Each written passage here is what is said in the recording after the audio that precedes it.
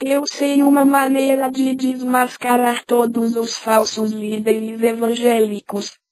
Quando eles prometerem que dando uma certa quantia de dinheiro, Deus vai dar em dobro, em triplo, etc.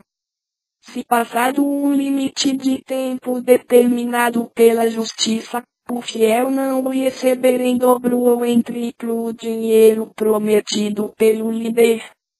Esse líder será obrigado a pagar do próprio bolso para o fiel. Isso desmascararia essa cambada de vagabundo maldita.